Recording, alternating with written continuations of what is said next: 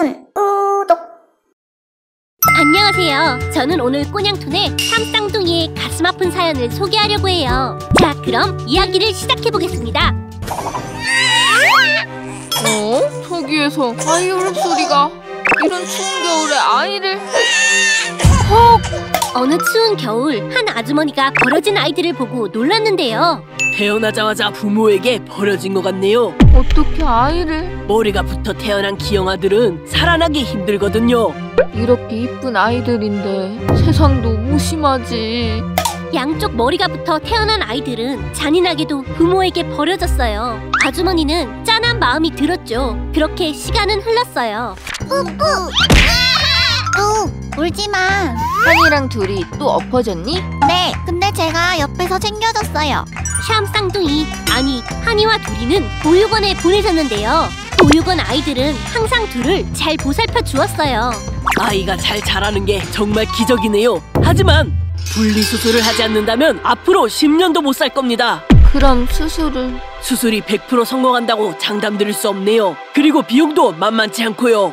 보육원 선생님은 그 어떤 것도 아이들을 위해 해줄 수 있는 게 없었어요. 어느덧 시간은 흘러가기만 했죠.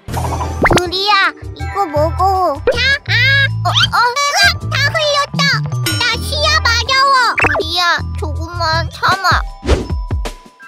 앞으로 자라나면서 점점 더 불편해질 텐데.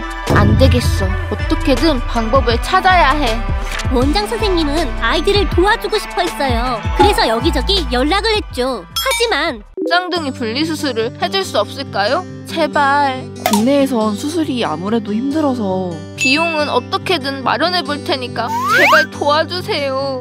선생님, 얘들아 언제부터 있었어? 저희는 이렇게 살아도 괜찮아요. 이제는 밥도 잘 먹고 화장실도 잘 갈 수 있어요. 너무 걱정하지 마세요. 오히려 쌍둥이들은 자신들이 걱정을 시키는 것 같아 괜찮은 척 했어요. 그 모습에 선생님은 더 이상은 내버려둘 수 없었대요. 그래서 어려서부터 아이들은 머리가 붙어 태어났습니다. 이 아이들은 단 5%의 확률로 살아남았지만 부모에게 버려졌죠. 아이들의 수술을 후원해주세요.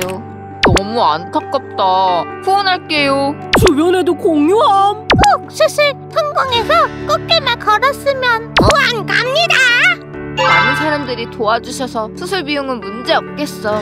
수술만 할 수 있다면. 여보세요? 안녕하세요 선생님 샴 쌍둥이 분리수술 할 수 있을 것 같아요 정말요? 네네 도와주겠다는 병원이 나타났어요 감사합니다, 정말. 드디어 샵 쌍둥이를 치료해줄 병원을 찾게 된 선생님. 하지만 수술은 만만치 않았는데요. 수술은 세 차례로 받아야 해서 생명이 위험해질 수도 있어요. 최선을 다해 노력해 보겠습니다. 쌍둥이들은 100명이 넘는 의료진이 투입돼 3차례 걸친 장기적인 수술을 이어갔죠. 마침내 어, 야, 어디 갔어? 언니, 나 옆에 있어. 우리 이제 떨어진 거야? 정말? 그래, 정말 고생 많았어. 고맙습니다. 그렇게 샴 쌍둥이였던 한이와 둘이는 각자 삶을 살 수 있게 되었죠. 그리고 현재 행복한 나날을 보내고 있고요. 정말 안타까우면서도 감동적인 사연이었는데요. 앞으로 한이와 둘이가 꽃길만 걸을 수 있길 바라요. 꼬냥뚱 구독자분들도 행복하시고요.